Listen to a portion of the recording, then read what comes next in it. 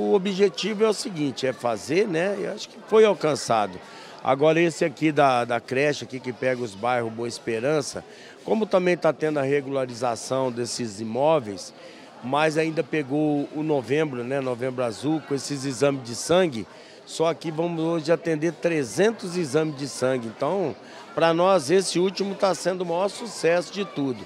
Mas eu quero agradecer né, a nossa vice Angelito, o pessoal da Obras, de todos os secretários, todos os funcionários, porque não é fácil organizar um evento dessa plenitude, né?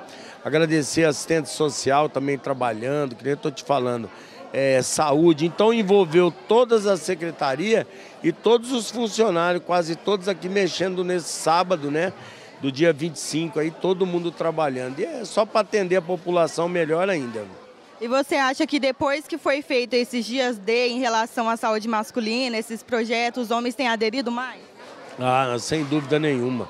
Devido hoje, como a mulher tem o problema né, de, de mama, que faz o câncer de mama, hoje é o homem da próstata. Hoje o cuidado é tudo. Estão vendo tanto de gente aí que morre com problema de próstata e hoje os homens estão se conscientizando.